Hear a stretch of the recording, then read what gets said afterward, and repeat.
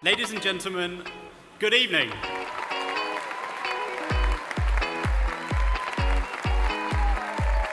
There's no other award that has got the esteem and the accolade that comes with the C&D award. They're important because in a challenging time for pharmacy, they need some recognition. They need to know that what they're doing is making a difference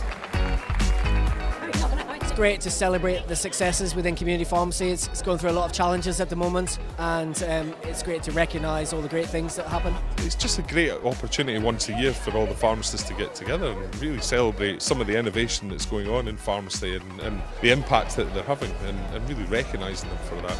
People work incredibly hard in pharmacies, giving that great level of care. So it's really important when we recognise these best people in the community. So, so an, an event that everyone looks forward to. Good number of people that attend the awards awards. It's good for networking and it helps for our brand awareness as well uh, within the business. So yeah, it's a it's a good awards to come to.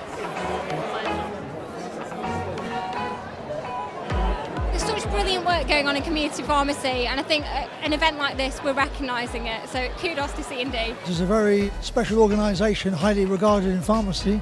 So an award from C&D is, you know, wow.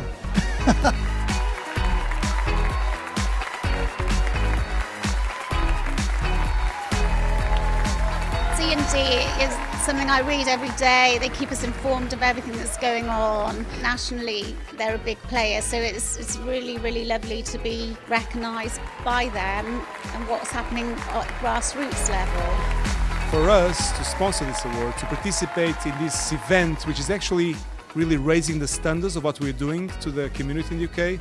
It's, it's a pleasure, it's, it's actually our, our responsibility and our obligation, so I really feel happy to be able to sponsor this event fab food, fab venue, really enjoying it. Taking C&D's best of the best. It's Olutayo Arikawe. I think the pharmacies uh, and their team, they are the unsung heroes of NHS. And if we don't do this award to bring out what pharmacists are doing and the impact pharmacists are having on their patients, nobody will probably know.